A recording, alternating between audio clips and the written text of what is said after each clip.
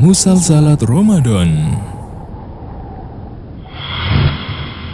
عن ابن عباس رضي الله عنهما قال كان رسول الله صلى الله عليه وسلم أجود الناس وكان أجود ما يكون في رمضان حين يلقاه جبريل. وكان يلقاه في كل ليلة من رمضان فيدارسه القرآن. Fa Rasulullah sallallahu alaihi wasallam ajwadu bil khairi minar rihil mursalah. Rawahul Bukhari wa Muslim.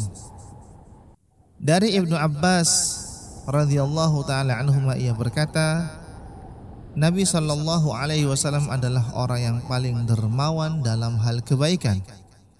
Dan kedermawanan beliau yang paling baik adalah ketika di bulan Ramadan ketika Jibril datang menemui beliau. Dan Jibril alaihi salatu wassalam datang menemui beliau setiap malam di bulan Ramadan.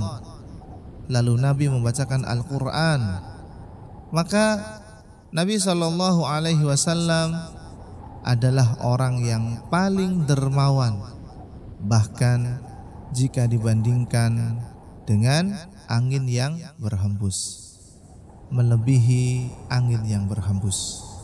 Hadis riwayat Imam Bukhari dan Muslim. Musalsalat Ramadan